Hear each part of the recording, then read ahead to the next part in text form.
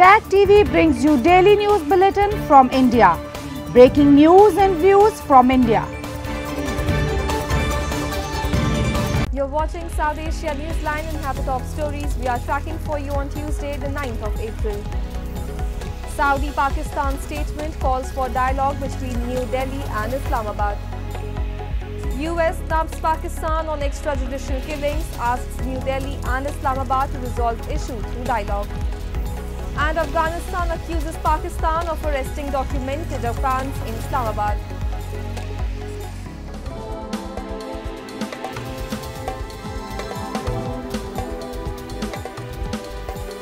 And now for all the details. In a fresh attack, Indian Prime Minister Narendra Modi on Tuesday said India Alliance leaders disrespected Hindu Lord Ram by not attending the Pran Pratishtha ceremony in Ayodhya in January and said they always hated the construction of the Ram temple. PM Modi alleged that Congress is so deep into appeasement politics that they will never be able to come out. Addressing an election rally in Pilibhit, Prime Minister also attacked the Congress over its manifesto, saying that it appears to be that of the Muslim League, not their own. However, Congress has already moved the Election Commission over his remarks.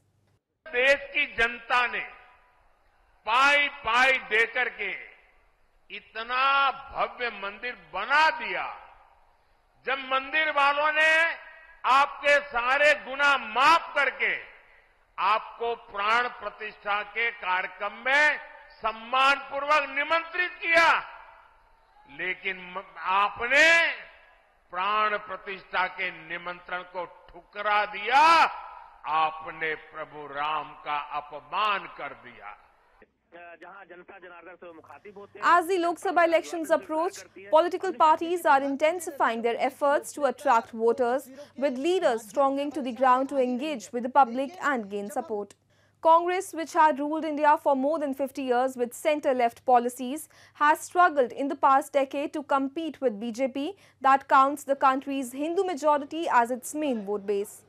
The seventh phase election starts on April 19 with vote counting on 4th of June. US on Monday said it will not get in the middle of the allegations by Pakistan that Indian government was involved in the assassination of more than dozens of individuals on Pakistani soil. The response by US State Department spokesperson Matthew Miller came over a query about Washington's stance on a report by The Guardian, which citing Pakistani officials alleged that New Delhi was behind the killing of individuals connected with terror outfits on Pakistani soil. Miller said while the Washington has been following the media reports, it cannot comment on the underlying allegations. We encourage both sides to avoid escalation and find resolution through dialogue, he said. So we have uh, been following the media reports about this issue. We don't have any comment on the underlying allegations, but of course, uh, while we're not going to get in the middle of uh, this situation, we encourage both sides to avoid escalation and find a resolution through dialogue. While the India's Foreign Ministry has refuted the allegations made by The Guardian, Indian Defence Minister Rajnath Singh reacted to the allegation and said India will not spare anyone who tries to promote terrorism in the country. If they run away to Pakistan, we will enter Pakistan to kill them, Singh said in an interview. The comments sparked angry reactions from Islamabad with Singh's Pakistani counterpart Khwaja Asif threatening military action if provoked. The relationship between the two countries have nosedived since 2019 after the terror attack on Indian military convoy in India's Jammu and Kashmir, which was traced to Pakistan-based terror outfit and prompted New Delhi to carry out an airstrike on a terror camp in Pakistan. Saudi Arabia and Pakistan on Monday jointly endorsed a call for dialogue between New Delhi and Islamabad to resolve the strained ties as well as the Kashmir dispute. A joint report was issued a day after Pakistan's Prime Minister Shehbaz Sharif met Saudi de facto ruler Prince Mohammed bin Salman. Their discussions centered on fortifying the fraternal relations between the two nations and exploring avenues for enhanced collaboration across various sectors, according to the joint statement. New Delhi has always said that Kashmir is a bilateral issue between India and Pakistan and there is no question of any mediation or intervention by any third party. India has repeatedly told Pakistan that Jammu and Kashmir was, is and shall forever remain an integral part of the country. India has said it desires normal neighborly relations with Pakistan in an environment free of terror, hostility and violence. A Baloch politician has recently accused the Pakistan Coast Guard of stealing resources from the port city of Gwadar and targeting Baloch traders. A report. A fiery video has gone viral on social media showcasing a Balochistan politician lambasting the Pakistan Coast Guard for exploiting the local resources. In the video, the man identified as Hidayat ur Rahman Baloch, a newly elected member of the Provincial Assembly representing Gwadar and leader of the Haq Do Tehreek Balochistan, is seen surrounded by onlookers as he alleges the security officials of pilfering oil and local resources from the port city. Accusing the officials of confiscating oil and petroleum from impoverished traders, Rahman said the security forces are amassing personal wealth and exasperating traders' poverty.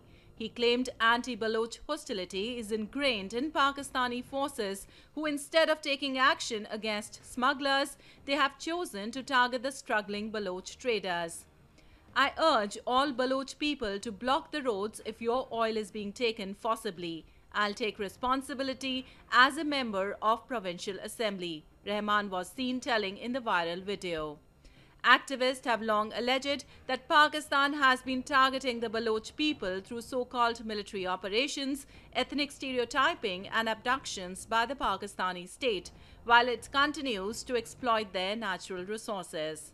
The situation is not highlighted by the local media, forcing them to seek intervention through global platforms. Taliban on Monday accused Pakistan police of arresting Afghans in Islamabad who possessed the Afghan citizen card. Pakistan last year ordered the expulsion of over a million undocumented Afghan refugees amid a row with Kabul over charges it harbors anti-Pakistan militants. The Ministry of Refugees and Repatriation said that nearly 7 lakh documented Afghan refugees are at risk of deportation from Pakistan. The ministry said that Afghans having ACC should not be harassed and if Pakistan government has made a decisive decision, then it should be through bilateral consultation. In the first phase of the expulsion of Afghan migrants from Pakistan, about 6 lakh migrants were expelled and the second phase of expulsion of Afghan migrants is set to begin on April 15. Nepal observed Ghode Jatra on Monday, the horse racing festival featuring over 60 horses, showcasing dozens of moves and stunts in the army pavilion. Dedicated to horses, the festival is organized annually by the Nepali Army's Cavalry Unit in Kathmandu.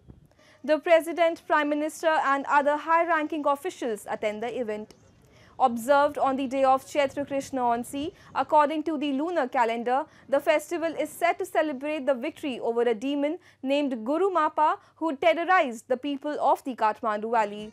The demon was trampled to death by horses and buried under a tree in Tundikhel ground located in central Kathmandu.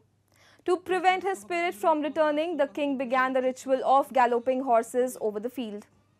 Performed every year on Chaitra Krishna Aunsi, this ritual eventually evolved into Ghode Jatra. While considered a celebration of the Newa community, the Jubilant festivities are observed by everyone in and around the Kathmandu Valley.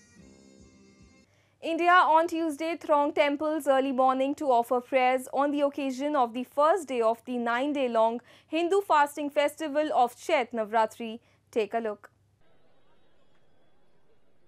Hindu devotees across India on Tuesday thronged temples early morning to offer prayers on the occasion of the first day of the nine day long Hindu fasting festival of Chait Navratri, which is dedicated to the Hindu goddess of power, Durga. Devotees in Prayagraj city of Uttar Pradesh were seen standing in the long queues waiting to offer puja and prasad to the goddess Durga. Devotees also took a holy dip and offered prayers at the confluence of River Ganga and River Yamuna on the occasion.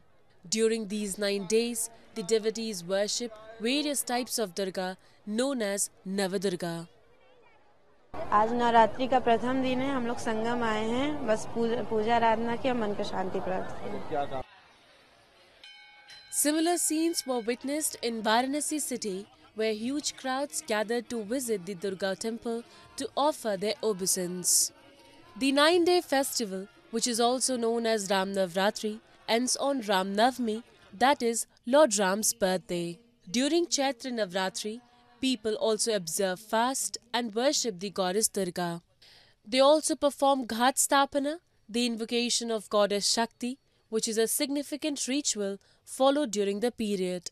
Navratri also celebrates calmness and peacefulness in the form of Mahagauri Mata.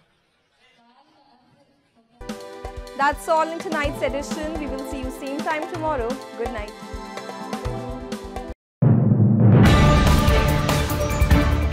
Tag TV brings you daily news bulletin from India. Breaking news and views from India.